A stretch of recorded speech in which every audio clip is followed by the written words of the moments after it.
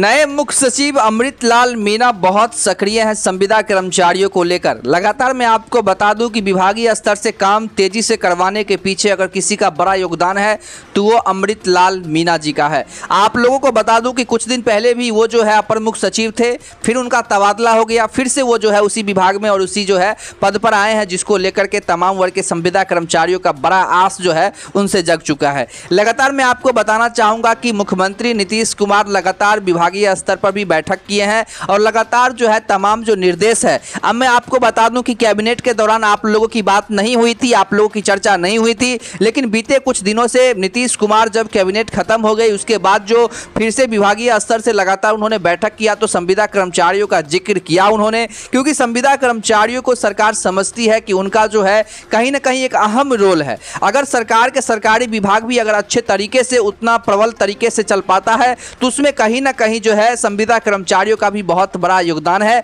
ऐसे में संविदा कर्मचारियों के साथ सौतेला व्यवहार नहीं होना चाहिए। देखिए, ये ब्लेम जो है, कहीं ना कहीं संविदा कर्मचारियों के संगठनों ने ही सरकार पर लगाई थी कुछ दिन पहले कि सरकार यानी कि समान काम करते हैं। आपको मैं बता दूँ कि जो काम आप लोग करते हैं, उसी में जो सरकारी विभाग के कर्मचारी करते हैं तो उनको क्या मिलता है और आप लोगों को क्या मिलता है? इस डिफरेंस को इसीलिए, बस डिफरेंस को बस इतना कि सरकारी मोहर लग गया तो उनको गवर्नमेंट के अलावेंसेस मिलेंगे और आप लोग को पास सरकारी का सरकार का मोहर नहीं है तो आप लोग जो है एक प्राइवेट वर्कर और प्राइवेट कॉन्ट्रैक्ट वर्कर के रूप में काम कर रहे हैं तो आपको जो है कॉन्ट्रैक्ट वर्कर का अलावेंसेस मिलेगा, जिससे आप लोगों का गुजर बसेरा जो है, बहुत ही अच्छे तरीके से नहीं चल रहा है और जिस प्रकार से आपको बता दें कि कैबिनेट के बाद मुख्यमंत्री महोदय जिस वक्त इस तरह की बैठक की है, उसमें उन्होंने बाढ़ पीड़ितों को लेकर के तो बात की साथ ही उन्होंने बिहार के संविदा कर्मचारियों के बारे में बारे में भी बात किया। इस बात की जानकारी जो है सीधे विभागीय स्तर से आ रही है और जैसा कि आप लोग जानते हैं कि लगातार वर्ल्ड रिपोर्ट जो है, लगातार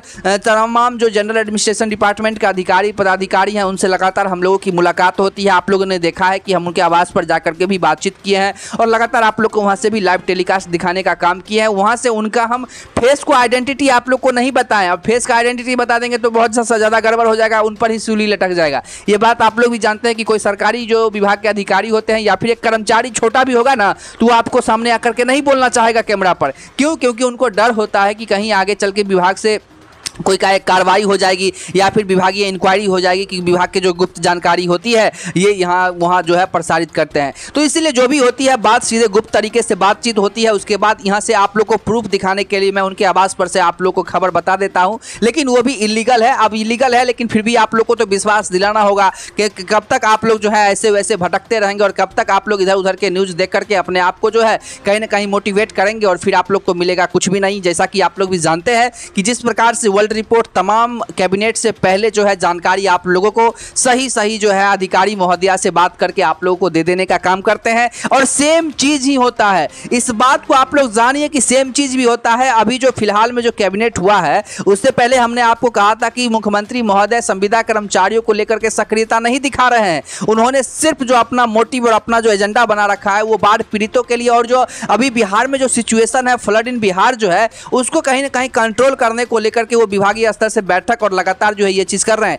लेकिन बीते अभी जो कुछ दिन में हुआ है, यानी कि आपको बता दें, कैबिनेट के बाद जो बैठक मुख्यमंत्री महोदय अभी लगातार बैठक कर रहे हैं, क्योंकि आप लोगों को बता दें कि तमाम तरह के जो सिचुएशंस हैं अभी हर जगह पर जो है पूरा फ्लड फैला हुआ है। उससे बचाव और उससे उसमें क्या कुछ सुधार, क्या कुछ इंप्रूवमेंट और कैसे क्या सहायता पहुँचा सकती है सरकार, इसको लेकर के लगातार विभागीय स्तर से बात करती है और इसी बातचीत के दौरान है, संविदा कर्मचारियों को लेकर के बातचीत हुई है। अब संविदा कर्मचारियों को लेकर के किस तथ्य पे बात हुई है। ये बात की जानकारी हम लोगों को अभी तक नहीं मिली है। उसके बारे में भी जानकारी मिलेगी तो हम आपको बताएँगे। लेकिन स्पष्ट रूप से कहा गया है क्योंकि श्रम संसाधन विभाग जो है, वो भी एकदम सक्रिय हो गई है और जिस प्रकार से श्रम संसाधन विभाग ने स्पष्ट कर दिया है कि संविदा कर्मचारियों को उनका मौलिक अधिकार मिलेगा। ये बात जो है, लगातार आप लोग भी जानते हैं और आप लोग भी जानते हैं कि लगातार जो कमेटी भी आप लोगों को लेकर के यही सिफारिश की थी कि संविदा कर्मचारियों को आज के तिथि में कुछ भी सही तरीके से नहीं मिल रहा है। उन लोगों के वेतनमान से लेकर के और तमाम उस मौलिक अधिकार को इम्प्रूवमेंट करने की आवश्यकताएँ हैं,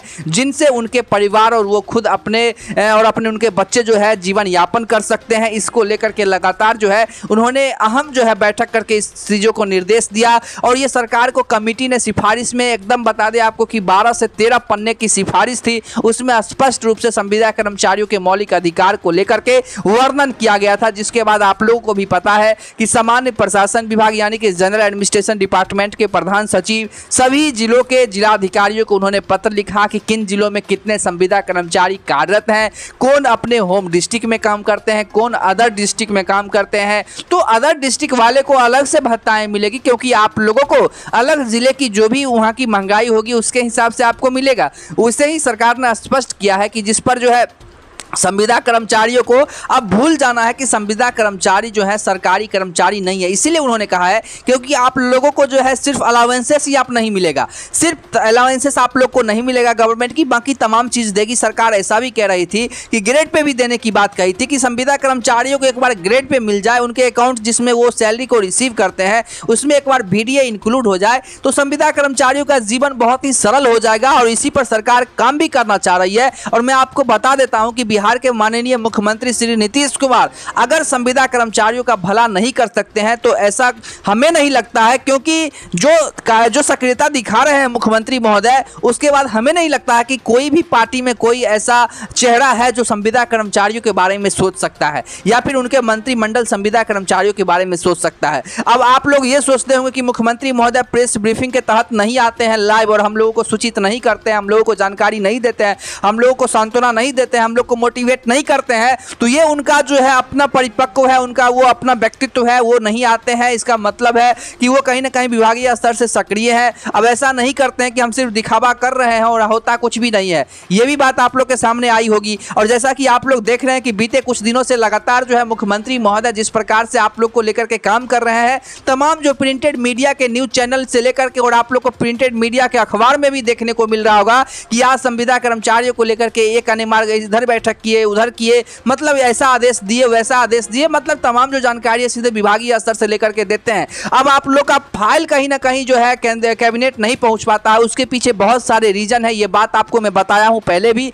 और अभी भी बता रहा हूँ कि जैसे जिस प्रकार से आप लोग का काम को अंतिम आगाज़ दिया जाता है, तभी जो है किसी न किसी पदाधिकारी का जो है एकदम बादला बदली हो जाता है, जिसको लेकर के वो सही समय पर मुख्यमंत्री महोदय के पास समीक्षा के लिए नहीं भेजी जाती है। अब आप लोग ही समझते होंगे कि मुख्यमंत्री के पास अगर समीक्षा के लिए नहीं भेजा गया है। तो मुख्यमंत्री महोदय उसे कहीं ना कहीं जो है फिर कैबिनेट, ये अधिवित विभाग को कैसे भेजेंगे? फिर उसको जो है कहीं ना कहीं बता दें कि श्रम संसाधन विभाग को कैसे भेजेंगे? ये तमाम विभागों से होने के बाद ही उसे जो है कैबिनेट में प्रस्तावित किए जाएँगे, जहाँ पर तमाम जो विभाग के मंत्रिमंडल यानी कि मंत्री होंगे और तमाम विभागों के प्रधान सचिव के संरक्षण में उस पर मोहर लग करके राज्य के पूरे ज़िले में उसे लागू किया जाएगा और तमाम वर्ग के संविदा कर्मचारियों के जीवन जो है सरल बनाने को लेकर के जो है एक कदम आगे की ओर जो सरकार कर रही है उससे कहीं ना कहीं उनको निजात मिल पाएगा, जो सौतेला व्यवहार की जो उन पर ब्लेम है, वो भी उन पर मिट जाएगा। तो तमाम जो बातें आपस में संलग्नता रखती है तो संविदा कर्मचारियों को यही है कि वेट कीजिए कि कब तक सरकार जो है इस पर बड़े निर्णय लेती है।